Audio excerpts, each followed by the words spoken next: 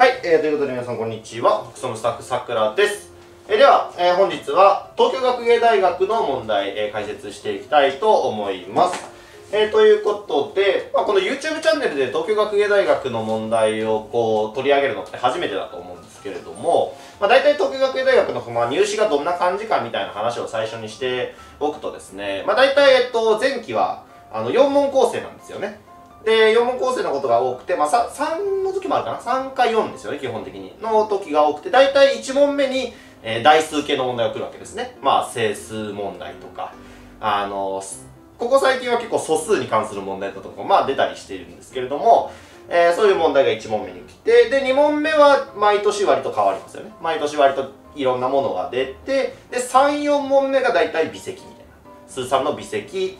が出るみたいな感じで、その4問の中のどれか1問はすごい難しいのがあるみたいな。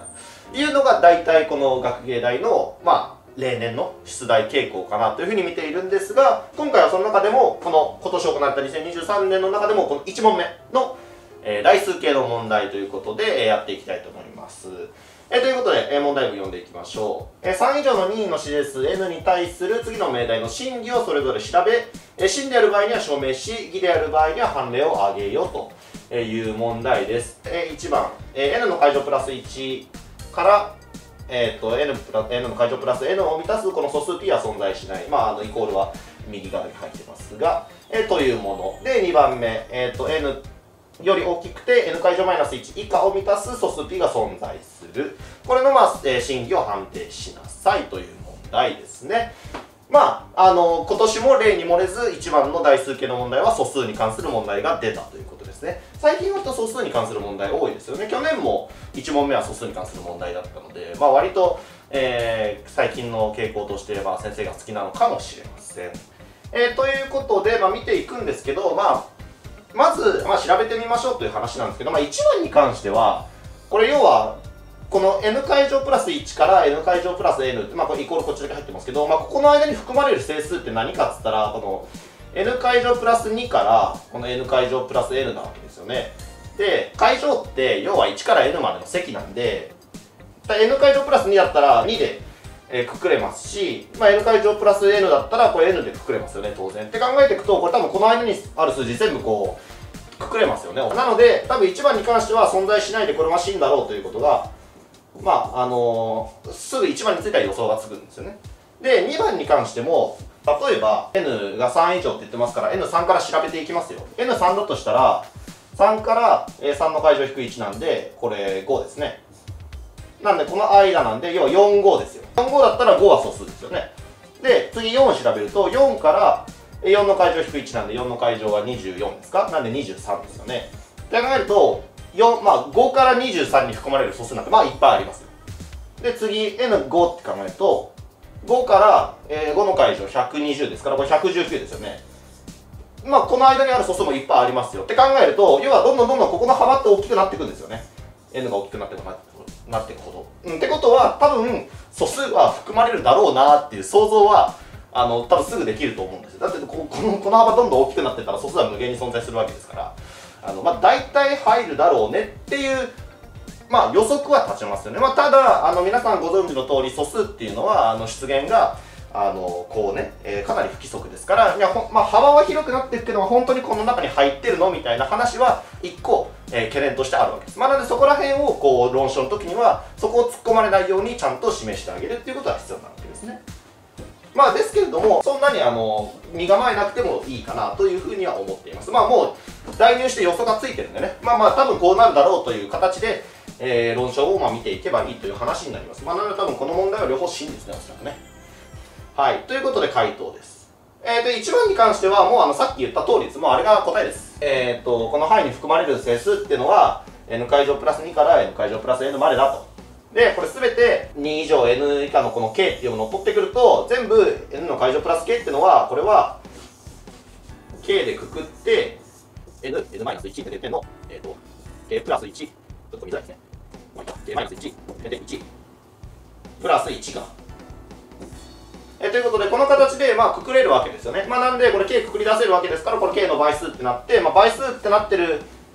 えー、ということは、まあ、これは合成数です。まあ、k2 から n って取ってるんでね。まあ、なので、えっと、これはもう、えー、真ですよねっていうことがこれで、まあ、あの簡単に証明ができるということですまあ1番ぐらいはこれでささっとやってほしいわけです悩むのは2番です証明でね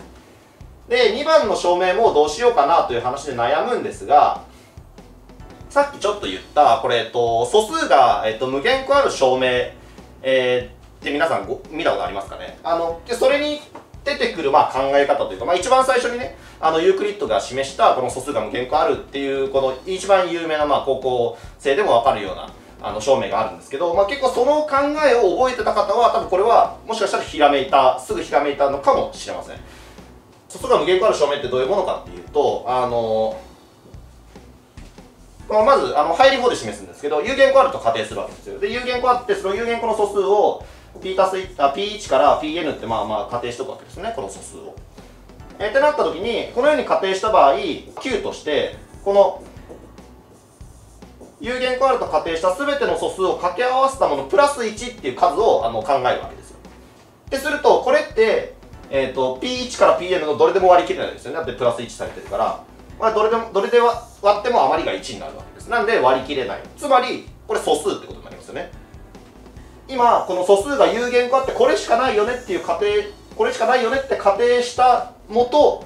それで割り切れないものが出てきちゃったってことはこれがこの Pn よりも大きい素数ですよねっていうことで矛盾だよね。ということで素数は無限個あるって、まあ、これ一番オーソドックスな証明。ユークリッドが一番最初に考えたこの証明なんですけど、まあ、この要はこここの置き方ですよね、まあ、ここの置き方というかこのこのどの素数でも割り切れない数を置くみたいなこういうこの考え方知ってると2番はまあすぐ終わるということになるわけですね。ということで2番は今はこの n の階乗マイナス1っていうのがここまでね n の階乗マイナス1っていうところまでっていう話でしたからまあそこで考えるわけですがこの n の階乗マイナス1っていうのはこの n までの素数のいずれでも割り切れないわけですよね。マイナス1があるから割り切れないわけです。でこの n 階乗マイナス1っていうのは、明らかに n よりは大きいってことでこれ n より大きい素因数を、まあ、持つわけですよね。うん。まあ、もしくはあのこれ自身が素数っていう可能性もありますよねもちろん。例えば4の時でいいですねこれ23は素数ですよね。あこれで OK だよねっていうことに言えるわけですけどまあそうじゃなかったとしてもこの n より大きい素因数っていうのは絶対含まれますよねっていうことになるわけですね。まあなのでこの範囲に入る素数っていうのはありますよね。ということでこれで真ですよね。という証明ができるわけですね。はいということでいかがでしょうか。聞いてしまうとなんかえそんななんかそんな単純なのって拍子抜けするような証明なんですけどまああのさっきのねこの素数が無限個あるあの証明の考え方みたいなところをまあ覚えていた人はねあのこれはアイデアとしてはあのすんなり浮かんできた問題なのかなというふうに思います逆にそれがないとなかなかこれをちゃんと2番を論証するっていうのはそこのアイデアがない人にとっては結構悩んだかもしれないですね。はい、ということでまあそんな感じの、えー、問題ということでございました。じゃあ一つ質問いいですか？はい例えば n が3だったら、うんとまあ、5になってその n の階乗引く1っていうのはまあ素数になるわけで、まあ、4の時は23だったと思うんですけど、うん、n の階乗引く1っていうのがこう素数になるかどうかっていうのはこう5の時はもう違ったじゃないですか、うん、そうですね。119で。じゃあその5の先はもうずっと合成数なのかとかそういうことって分かってるんですか？結論から言うとこれはまだ分かってないですね。なんでこれが本当に n が2のものを取ってきても素数なのか合成数なのか、まあ、この分布はどうなってるのか規則がどうなってるのかみたいな話は、えー、実はまだ分かってないというところなんですね。